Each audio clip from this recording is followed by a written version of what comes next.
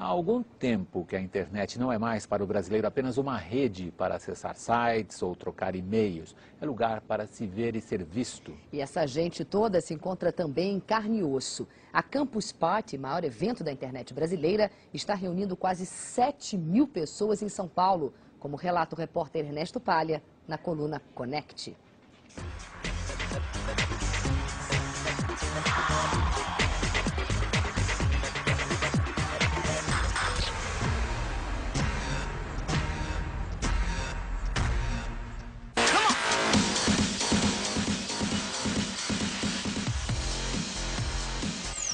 70, um homem já viu de tudo, mas nem sempre apertou o botão. Por isso, seu Hélio precisou de um batismo digital. Para que, que o senhor vai usar o computador? Não, ah, depois de velho usa qualquer coisa, né? Qualquer coisa não, seu Hélio. Com um e-mail, vai dar até para entrar em contato com a filha. Hélio.sacramento, arroba, agora, Colocou o meio.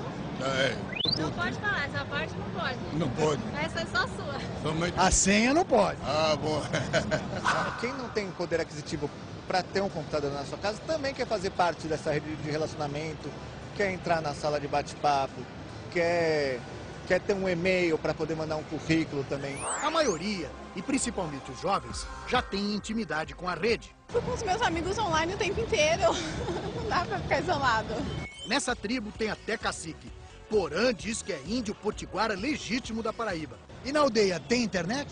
Temos, temos um telecentro, né, um ponto de cultura. E as pessoas gostam de usar?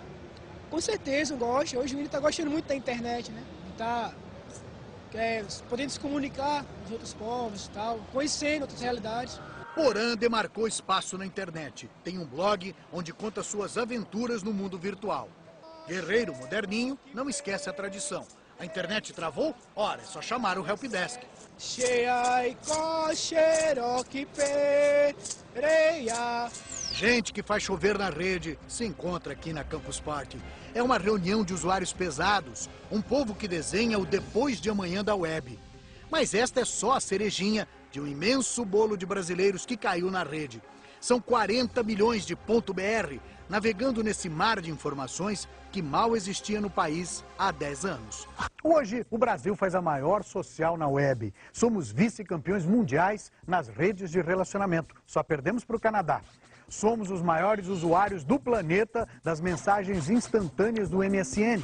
E metade do site de relacionamentos Orkut é verde e amarela. São 30 milhões de perfis em redes sociais. Pois é, se espalhar na rede hoje em dia aqui no Brasil quer dizer uma coisa totalmente diferente. O brasileiro também passa muito tempo online. Somos os campeões do mundo. Ficamos conectados quase 22 horas por mês. Eu não consigo ver eu sem o computador do meu lado. Não, não, não existe essa possibilidade. Na Campus Party, o especialista em redes veste o apelido que adotou no grupo virtual de fanáticos por modding. Livre traduzindo, a arte de empetecar e turbinar o computador. Ele banca o professor Brown, inventor maluco do filme De Volta para o Futuro. De um pai assim, a filha Adriele, 9 anos, não podia mesmo ganhar coisa diferente. Teu computador é muito bacana. Como é o nome dele? Por quê? porque o meu cachorro se chama Max. Até o Gil, que já se conectou faz tempo, apareceu para passar o dia na Campus Party e se confessou impressionado com a nossa vida digital. Eu estava conversando com o Caetano há uns cinco ou seis dias atrás, lá em casa na Bahia, e ele dizendo, e ressaltando esses, esses, esses aspectos todos, e ele dizendo, mas Gil, mas foi muito rápido.